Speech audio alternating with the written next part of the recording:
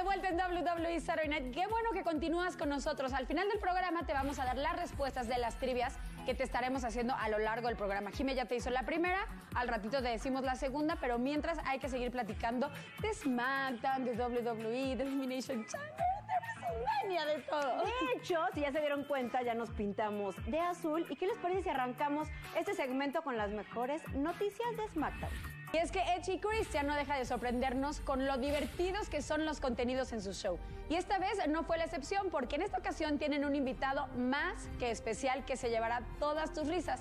Macaulay Culkin, Edge y porque Charlotte Flair es la primera en salir a escena. La reina sube al ring y dice que la única cosa más peligrosa que la ignorancia es la arrogancia, de la cual es completamente víctima Becky Lynch.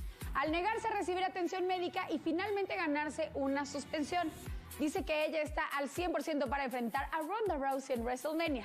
Obviamente Becky sale de entre las tribunas cojeando aún por la lesión que tiene en la rodilla y antes de que la situación explote aparece nada menos que Triple H en un intento de calmar las aguas.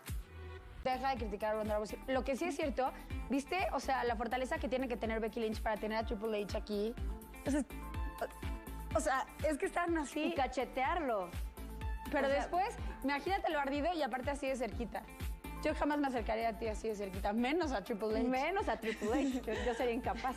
Oigan, y este invierno ha sido muy duro en Estados Unidos y existen eh, superestrellas que tuvieron dificultades para llegar a sus respectivos shows a causa de las nevadas y otros que lo tomaron también como una experiencia positiva. En fin, todos tenían algo que decir sobre las nevadas en Estados Unidos. Creo.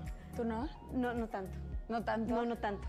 Oigan, hay que seguir platicando de SmackDown y es que vemos en backstage a Mustafa Ali que tiene palabras para todos antes de su duelo. Habla que muchos no creen que un luchador como él pueda ganarle a uno de los más grandes, como Randy Orton, pero él está muy consciente de lo que es capaz con el talento que demuestra en el ring.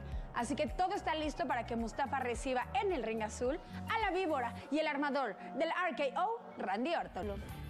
Es que estaba pensando que nosotros siempre nos coordinamos para venir a WWE Saturday Night. Y es como una obra de arte, ¿no? La verdad no tanto, ¿va? Sí, vean nada más. Hoy venimos De como víboras. de Viper. ¿Te sale? No, así no le hace Randy Orton. Ah, no.